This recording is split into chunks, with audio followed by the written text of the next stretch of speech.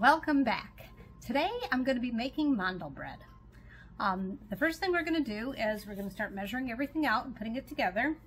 So um, I am going to do a single batch today. A lot of times I do a double batch, but today I'm doing a single batch. So the first ingredient is three cups of flour. And when measuring out flour, you always want to level it off.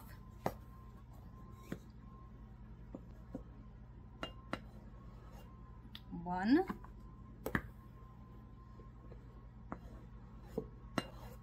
Two.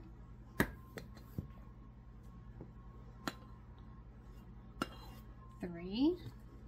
Okay, so that's it for the flour. This aside. There goes my oven.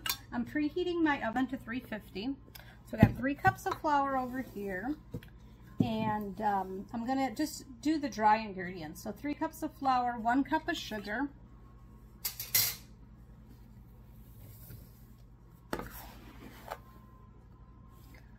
Now the sugar is going to end up getting mixed with the oil. So I'm going to put this in a different bowl. So the sugar is getting put into a different bowl than the flour. I'm just doing it in order of how the ingredients were listed on this original recipe. So when measuring sugar, also you level it off. So one cup of sugar and one cup of oil. Now on the oil, the oil is going to get mixed with the sugar. So I'm going to put the oil directly in with the sugar. I set aside my flour the time being. Okay, so you need a liquid measure when measuring oil. Now, you could use corn oil, canola oil. I think even olive oil might work, but olive oil tends to have a flavor to it. So I'm using sunflower oil because that's what I like to use. And when measuring oil, you have to go ahead, I'm going to have to move the camera an angle to show you how I measure oil the proper way. Measure oil since it is a liquid ingredient. Move this back here. So the line, it's got to go to the, it needs to be one cup. So it's going to go to the one cup line and I need to get, since it's liquid, I need to get level with the one cup. And then I pour it in and I'm going to look at it right across to the one cup line. Let's level across. And then in order to get the oil out of this measuring cup and into where the sugar is, you need, hopefully you have one, if not, you just maybe have to use a metal knife or something, uh, butter knife. You need to get all the oil off of the measuring cup and I like to use a rubber spatula. It works very well to scrape it all off.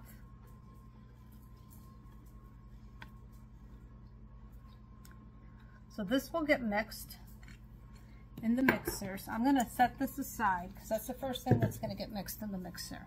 Then the next thing we have to do is three eggs.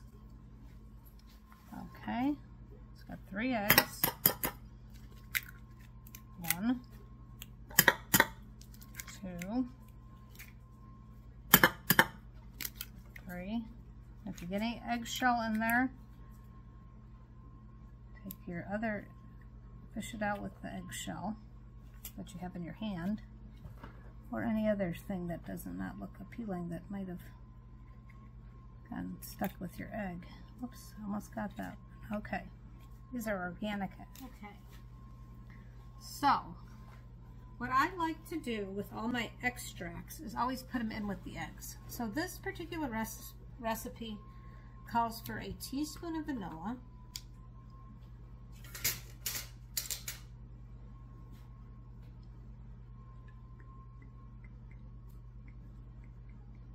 teaspoon of vanilla and half a teaspoon of lemon extract. This is where all the flavor comes into play. Half a teaspoon of lemon extract and a half a teaspoon of almond extract.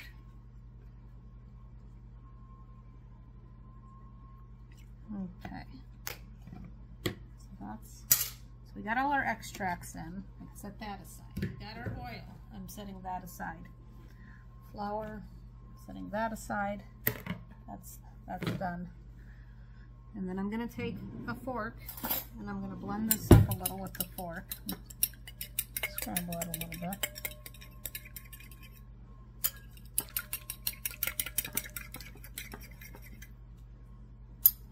Set that aside. So I'm going to go through the ingredients. Okay, so I have so far, I got the three cups of flour. I set that aside. I got the three eggs. I got the one cup of oil in with the sugar. And I have my flour, a dash, a little bit of salt. So that's going to go in. A little bit of salt is going to go in with the flour. Okay, so it says a quarter cup, I mean quarter cup, a quarter teaspoon, a quarter teaspoon of salt, and I'm just gonna put a little bit less than that just because I don't like things with too much salt, but I need just a little, whoops, see I got too much, that's why I didn't want to measure it over the top. So I'm just gonna get rid of a little bit of that salt. Okay, that, so then I'm gonna put that in with the flour, and what else? Baking powder, one teaspoon of baking powder. Now, make sure that it's actually baking powder and not baking soda because it will make a difference. You always have to be very careful with that. Now in measuring the baking powder, okay, so one teaspoon. my teaspoon? Okay, here's my teaspoon. You're to measure like this and then you level it off. You can use your lid to level it off and then put it in with the dry ingredients. Okay, so then I'm going to take a fork and I'm going to mix it all up like this.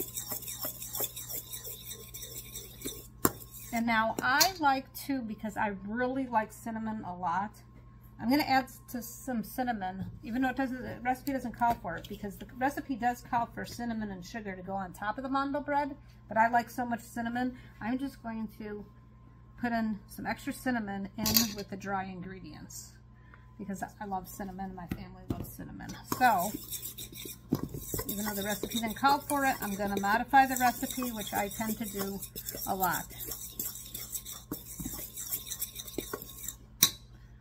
Okay, so to review the ingredients, we have three cups of flour, three eggs, one cup of oil, one cup of sugar, quarter a teaspoon of salt. I put in a little slightly less.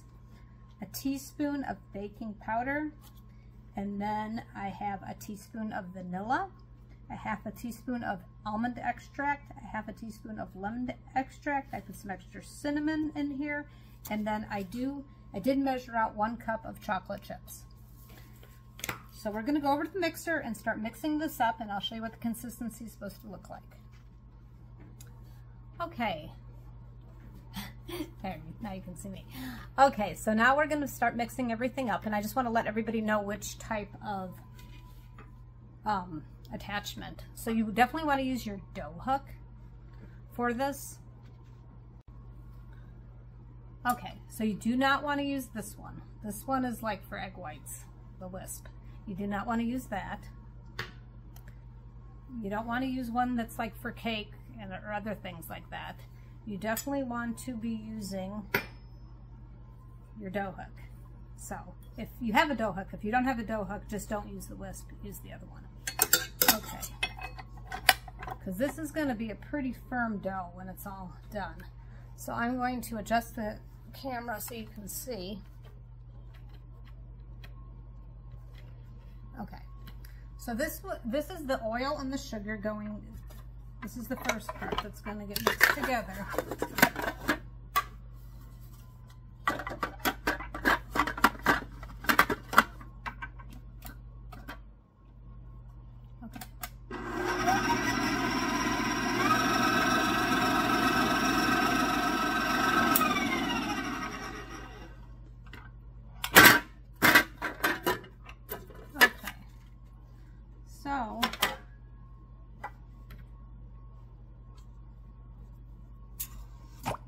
I'm checking to see if anything's sticking a little bit sticking, so I am taking my rubber spatula and making it not stick, and then I'm gonna mix this a little bit longer, just a little bit longer.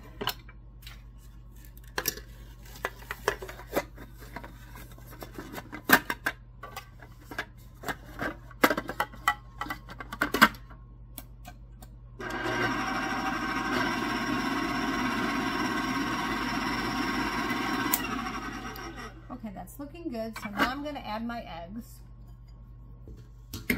which has all the extracts in there.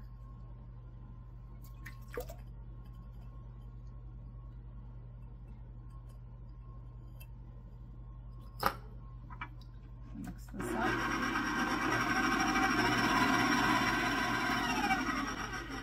Okay, in the meantime I wash my hands, get the egg off of there. So that looks pretty good. It's well mixed and it's not anything I need to really check on because it's all kind of liquidy. So now, last step is I'm going to add, last step for the mixing part is, oh, actually I need to do the chocolate chips too, but I'm going to start in by adding some flour, just a little bit at a time.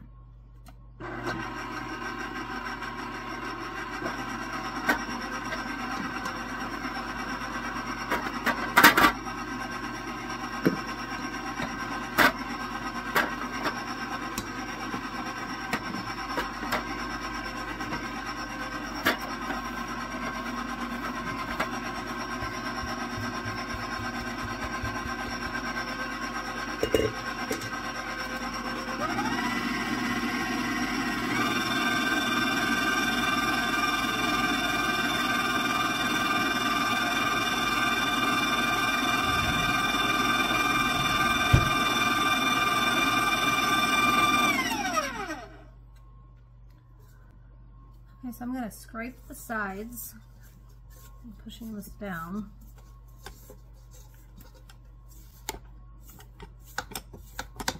You almost have to do it in almost every single recipe, it seems like. Okay, so I push that down and I'm going to continue to mix so until it's a nice dough consistency.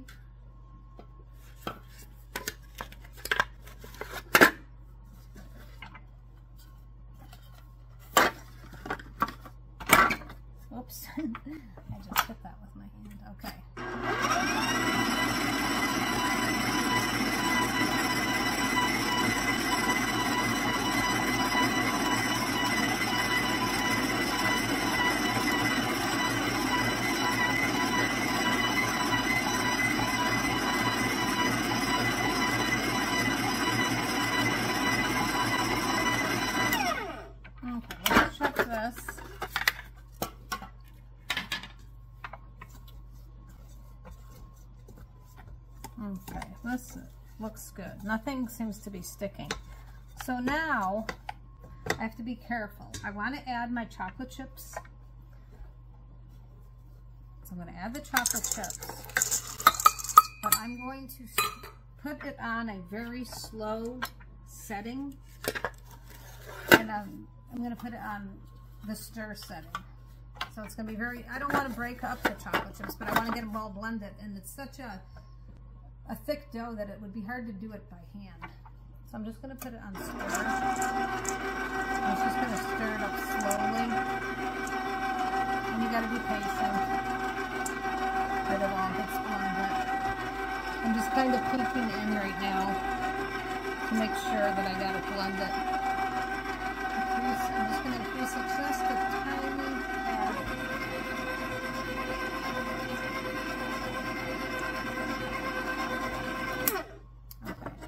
going to take a look at it and see if it looks stirred well enough. So this is chocolate chip mandel bread. And you might think, wow, that's really didn't take a long time to go ahead and to do that. It's a pretty simple recipe. So a chocolate chip mandel bread is all in the technique. So I will show you how to put it onto the cookie sheet the proper way and get it ready for the oven. I'm gonna go rinse my hands off and move some things around. Okay, now for the fun part. So what you have to do is, you can't be afraid to get your hands dirty. That's the first thing. So you go ahead and you go in here and you grab a glob of this dough and it's very, very sticky. And you lay it like this. And I, if you've watched some of my other videos, you see that I wear gloves a lot. I've never worn gloves doing this, so I'm not even going to try because I don't know if it would even work properly. I did bring some, usually I go right over to the sink, but I just got some water in a bowl. And you need the water and to get it on your hands and you need to start forming it into a small loaf. Trying to make sure everybody can see this. Now I took a cooking class when I was sometime before middle school. I don't actually know my exact age and this is where when I got this recipe. When I came home and tried this out at home, my mom was, why are you playing with the food? I said, this is how you make mandelbread. This is how the instructor showed us how to do it. But she thought I was just making a big mess in the kitchen with this mandel bread. She loves mandel bread. Okay. But when she first saw it being made, she thought I was just making, you know, a little kid making their hands a mess. So, gotta use the water, you gotta make it form around like this. And I'm going to need another tray. So I use my old cookie sheets to do this. So I'm going to, at this point I have to grab another cookie sheet so I have to run over to the sink and actually rinse my hands well. Okay, so I'm going to set this aside for just a sec and I'm to grab my other cookie sheet. over here. I'll put this aside. I still have to do something to that, so I'm not ready to get rid of that completely. And then I'm just going to grab out the rest of the dough.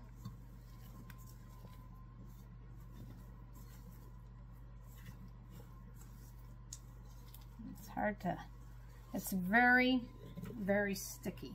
So if you make this and you're like, oh, what is going on here? It's so sticky. That's correct. It is so sticky. And I'm taking the rubber spatula and I'm just scraping, scraping the bowl.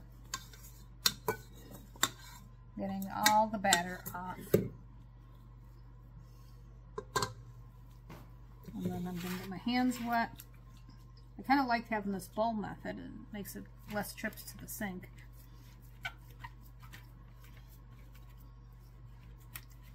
This one's going to be priced a little bit skinnier. Okay, so now I got my loaves, and I could have done it 50-50. I could have, I didn't know if I was going to fit it all. I So often I do double batches of everything, so I, a single batch to me is like, uh, I don't even know if I need two trays or what I need. So I'm going to rinse my hands again because I need to put some cinnamon and sugar on here, and I want to show you. Okay, so what I do because I use a lot of cinnamon and sugar for different things. Um, I got a thing of cinnamon like that size and then was halfway down then I added sugar to it. And now I use this strictly for cinnamon and sugar. I I measure I mean I uh, wrote you know cinnamon and sugar on here because it has the nice top. So you have to then the next step is to sprinkle kind of a generous amount of the cinnamon and sugar on here. In the meantime, my oven is baking at 350.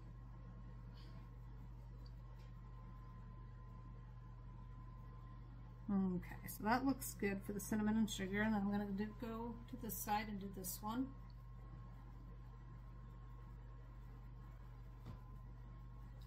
So I'm going to put this in the oven for about 25 minutes and then we will check it and then there's more to the process and uh, so I will put this in the oven we'll check it when it's almost ready and then uh, we'll see how that looks. Okay it's been like 12 minutes so it's about halfway there and let's just take a peek at what it's looking like.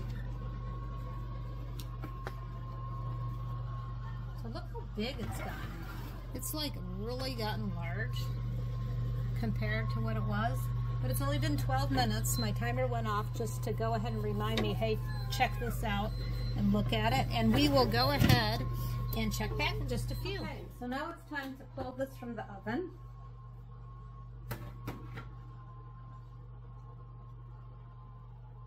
Okay. I'll adjust the camera. And this is just the first step. Okay, so now this has to cool down. I'm to actually adjust the camera so you can see a little bit better. These are old cookie sheets, so it's to not look as pretty, but okay.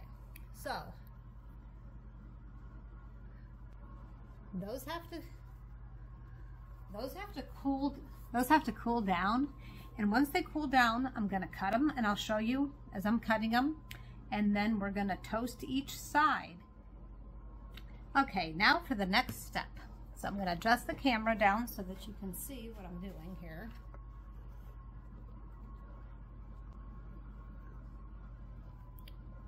So the reason I use the old cookie sheets is because I have to cut on here. Now there's a little piece here that when I, I dripped, I'm gonna just remove these little pieces so they don't burn.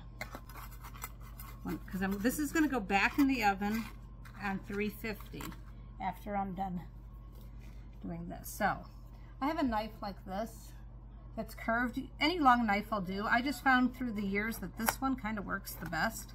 I'm going to cut all the way through. And I'm just going to pull this out. And you'll see when I move it how thick this is. So I'm using the old cookie sheet because I don't want to take a new cookie sheet and have cut marks on it. That is the reason.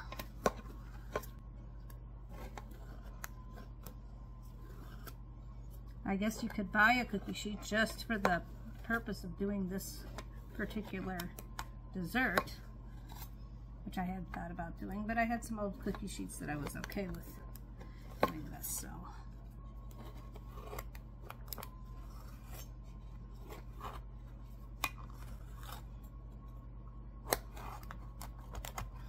Okay, so I'll cut the other one in just a sec. So I have a really good spatula where I can really get under it. I'm just loosening it at this time.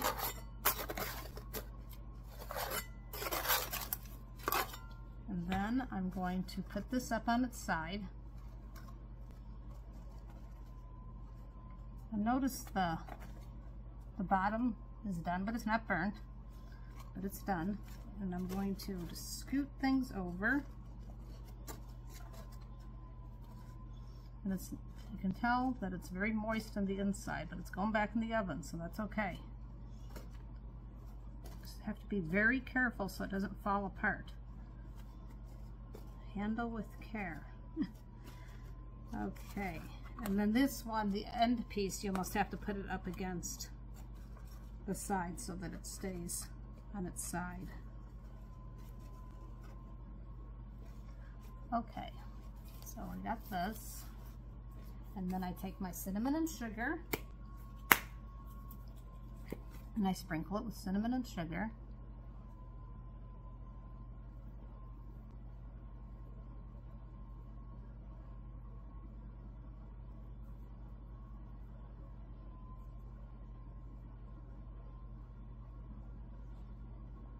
Hope everybody's having a good day. I know I am because I am making my house smell wonderful and I'm having fun in the kitchen. Okay, so I'm going to pop these in the oven for about five minutes and we're going to check. I'm going to show you what it looks like. And then after we're done with that, then we're going to flip them and do the same thing on the other side. So I'm going to pop these, I'm going to get the other ones uh, going on this tray. I'm going to pop them in the oven all at the same time and then we will check back in just a few minutes. Okay, so the timer went off, so let's take a look-see and see if it's ready. I'm going to peek in there. If it's not ready, I will show you. If it is ready, I'll, I'll bring it out of the oven and show you. So I'm just going to take a look here.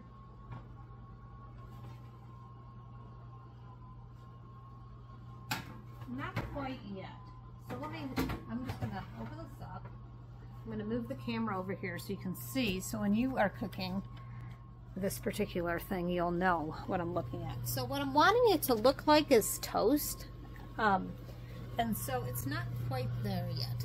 It's very, very close, but not quite. So I'm gonna set a timer for probably another two or three minutes. It's getting close. Um, and then we will look at it again. Okay, time to take the mandel bread out of the oven. I'm sure that it's done now on this side. Okay, so now, much like the first time I did it, I have to let it cool down a little. It's very hot. So I'm going to let it cool down a little and then we will flip it over and then cinnamon and sugar the other side. So um, I'll be right back with you as soon as this cools down enough to handle. Now all these pieces of mandel bread have two sides except for the end pieces. So the end pieces are actually done. So those are done. I'm going to put those on the cooling rack.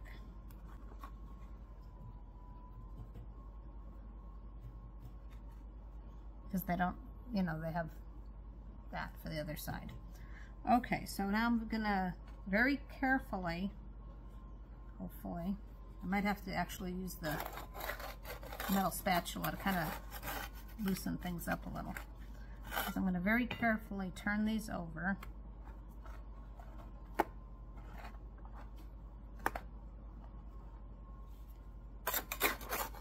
So I prefer not for them to break in pieces. the goal is to not have it turn into just crumble like that piece. Sometimes it happens, it's okay. It's part of the, the situation with mandel bread. Sometimes it falls apart a little.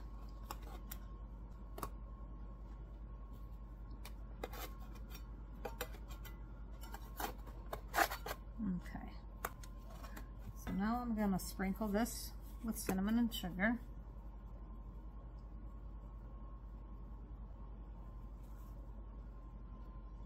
I do another five or six minutes. Um, the one side it ended up taking longer than it anticipated. It didn't seem like it was making progress as quick as I thought it would. So I left it in a little bit longer. So I'm going to sprinkle these with cinnamon and sugar. But now that the oven is so hot and these pans are so hot, I'm thinking five minutes might be just fine. I will have to check. So I'm going to have these go back in the oven and then we'll check back. I pulled them out of the oven and I just want to show you kind of how they look. So that's one side. It's very, very hot. That's the other side. And I'm going to put these on a cooling rack. I'm going to let them cool down a little and then I will taste one. See you soon. Time to taste test the mandel bread. I want to show you what it looks like. So, what it looks like. chocolate chip mandel bread. I like to have it with a cup of coffee. That's my favorite way to have it. Maybe some people want to have it with milk. So the first thing I'm going to do is I'm just going to break it open. Of course, it's still really warm because that's how I like to eat my sweets. And that's what it looks like on the inside. And I will taste it.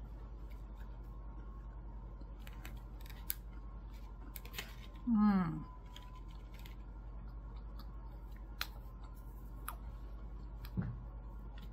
Very, very good. I miss that taste. Last year I had some, and uh, it's been a long year because this tastes really, really good. Mmm. You can taste all the the vanilla extract and the almond extract and the lemon extract. There's a lot of, lots and lots of flavor going on and follow it with some coffee or milk. Mmm, delicious. Well, I hope you enjoyed this video. Thank you for watching. Uh, thank you for those of you that are subscribing to my channel. If you're not subscribing, please subscribe and like this video and have an awesome day. Thank you.